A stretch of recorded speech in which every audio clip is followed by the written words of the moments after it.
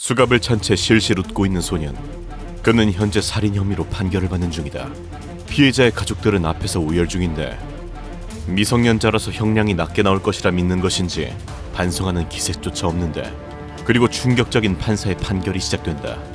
Watching you sit there, smile, laugh, shake your head like this was no big deal, I'm very tempted to just say, I'm 미국 미시간주 18살 고등학생 조던 클랩. 학교를 가던 중 갑자기 총에 맞아 사망한다. 범인은 17살 단테 라이트 외 2명. 같은 동네에 사는 고등학생들이었다. 모두 살해 혐의를 인정했는데 What did you do with that gun in Mr. Jordan, please? Shot him. And did, did you kill him with that shot? Yes. 피해자인 조던이 입고 있던 옷과 신발을 훔치려 했지만 조던이 반항하자 방아쇠를 당겼다는 것. 그런데 재판이 열린 날 피고인 중 한 명인 단테 라이트는 유족들의 호소를 눈앞에서 보고도 사과는커녕 이를 비웃듯 실실 웃기 시작한다. my son, my baby, my friend. More than that, I've lost laughter and love. Why? Can you answer the question? Why? Your why will never be better than his life. Your want will never trump my son's death. 말을 들으며 실실 웃던 녀석. 그리고 한다는 말이 I just want to tell y'all I'll be home soon or I'll be Keon. I love my family. 당당한 눈빛에 정신 나간 멘트. 이 녀석은 정식 재판으로 넘어가면 무기징역까지 나올 수 있는 상황이지만 유가족들은 아직 미성년자인 범인의 미래를 배려해서 정식 재판으로 넘기지 않고 선처를 베풀려고 하고 있었는데 이 녀석 역시 자신이 미성년자라서 형이 낮게 나올 것이라 믿고 있었던 것. 그러나 판사의 생각은 달랐다.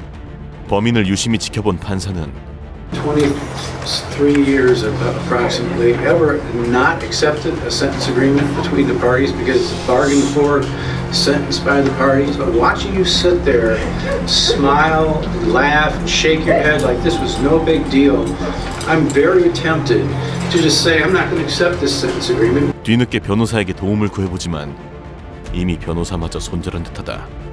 그런데 진짜 소름인 것은 이웃집 소녀를 살인한 혐의로 재판에 서게 된 14살 소년. 온 가족이 출동하여 이 범죄자를 감싸기 시작한다.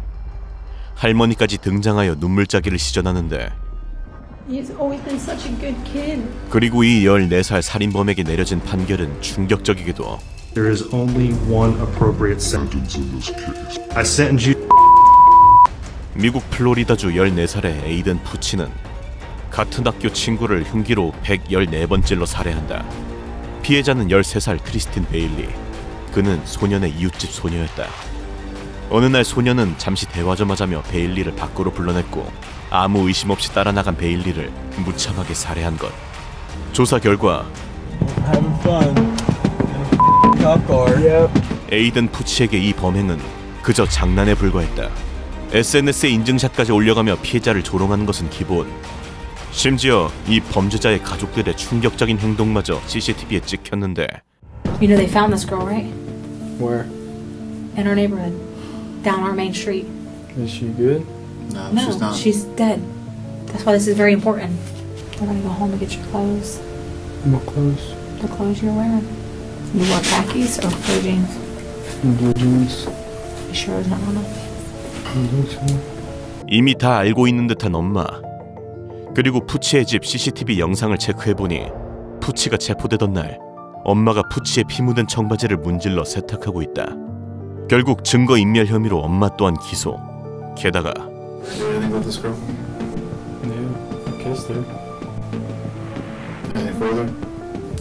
모든 것을 들으면서도 혼조차 내지 않는 가족들. 유가족이 바라는 건 오직 하나. 가해자의 제대로 된 처벌뿐이었는데 She will not be able to graduate high school or college, and her father will never be able to walk her down the aisle at her wedding. You have taken this all away from us. 유가족의 최후 멘트를 지루한 표정으로 듣고 있는 푸치. 정작 자신의 할머니의 호소에는 눈물을 흘리는 소름 끼치는 모습을 보인다. 그리고 최종 판결. He told his best friend that he wanted to kill someone to see what it felt like and he wanted to watch them bleed out. This court finds that the defendant's participation in this offense was not the result of immaturity or impetuosity. There is only one appropriate sentence in this case. I sentence you to life in prison. 판사는 결국 미성년자가 아닌 범죄자에게 맞는 벌을 내렸고 피해자 베일리의 가족들은 눈물을 흘렸다. 그런데 진짜 소름 끼치는 사건은 최종 판결 직전까지 웃고 또 웃으며 심지어 자신을 몰아붙인 검사에게까지 감사를 표하는 이 남자의 정체는 바로 연쇄살인범. 그리고 이어지는 최종 판결. I sentence you, Mr. Lorenzo, to death. That is the punishment that you deserve for these horrific crimes. 26살의 청년 두 명에게 약물을 투여 동성 성폭행한 뒤 잔혹하게 살해한 스티븐 로렌조는 결국 법정에 서게 되는데 그러나 법정에서 로렌조는 검사의 주장에 기대된다는 표정으로 두 손을 비비거나 웃고 심지어 윙크에 고개까지 끄덕이더니 심지어 빨리 사형 선고를 내려달라고까지 And I'm going to try to speed up this process so I get euthanized as far as I'm concerned. The faster I can get, the sooner I can get, fetch myself a new body and come back again. 새롭게 태어나겠다는 그에게 판사는 최종 선고를 내린다. I sentence you, Mr. Lorenzo, to death. 그러자 로렌조는 마지막까지 고맙다는 말을 반복하며 변호사와 인사를 나누는 것도 잊지 않는다. 아무것도 할 수 없는 상황 속 마지막 주도권을 갖기 위한 최후의 발버둥이 아닌가 싶은데 그런데 너무나 충격적이게도 정반대의 상황이 벌어진다. 징역 60년형을 받은 하버트 스미스. 혹시나 하는 마음에 판사에게 선처를 구해보는데 I have decided 범죄자의 미래를 생각해 선의를 베푸는 판사. 그러나 이 선처는 돌이킬 수 없는 최악의 결과를 가져오게 되는데 2012년 강도짓을 하다가 체포된 스미스. 당시 19세의 미성년자임을 감안하여 판사는 2년형을 선고하였는데 그런데 감옥에서 나온 지 1년 만에 무면허 운전의 보석 도둑으로 또다시 체포된다. 실망한 판사 60년형을 때려버린다. 80세가 넘어서야 감옥을 나올 수 있게 되었는데 그런데 뜻밖의 여론이 들끓었다. 심지어 형벌이 과하다는 온라인 청원까지 일어나자 고민하던 판사는 결국 최종 판결을 뒤집는다. Good people, they want to find you a job, Herbert Smith. They want to keep you out of trouble. I have decided to suspend your sentence of six years. 뜻밖의 판결에 놀라는 스미스. 단 사면 조건은 스미스가 반드시 일을 해야 한다는 것이며 또다시 체포될 경우 빠꾸 없이 60년형을 내린다는 것이었다. 그리고 세 달 뒤에 회사에 취업하며 스미스가 정신 차리고 새 삶을 시작했다고 생각했지만 갑자기 몇 달 뒤 직장에 안 나오기 시작하더니 주택 침입 및 강도죄로 또다시 체포. 이제는 진짜 어쩔 수 없이 60년형을 살아야 하나 싶던 그때 스미스를 변호했던 앨런 잭슨 목사는 정말 마지막 기회를 주자며 엄청난 변론을 시작. 결국 기적적으로 감형에 성공하여 몇 년 만에 감옥에서 나왔는데 그러나 그 뒤로 그의 행방을 찾을 수 없게 된다.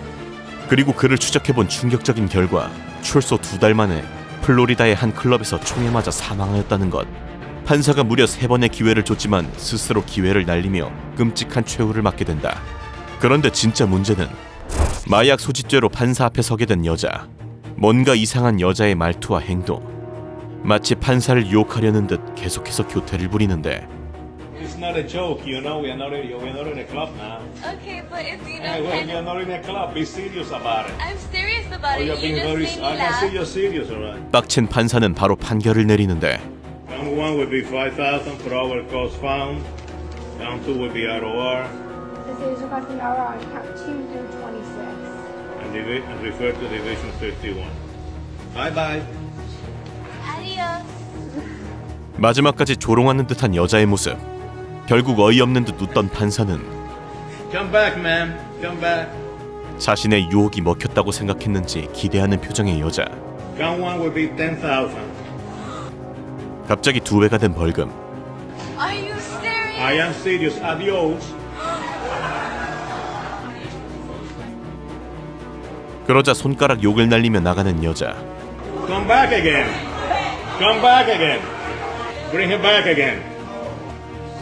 I believe I heard you saying to. I, I believe you. Did you say? Did you say that? Yes, sir. Oh, you did say that? I find you in direct criminal contempt. 30 days in the county jail. 여자는 결국 교도소에 갇히게 된다. 그런데 미국 법정에 서게 된 한 중국인. Have you ever visited any uh, courts in China? Not really. I really don't have a chance to, and I really cannot gather an interest to visit a court in China. They were pretty serious. Not like this court, like people are friendly, people making jokes. In China, they were really serious, and you. Well, what, what you mean? We're not serious? Ah. 도대체 중국 법정이 어떤가 살펴보니 사형 집행 횟수가 전 세계에서 가장 많은 국가 중국.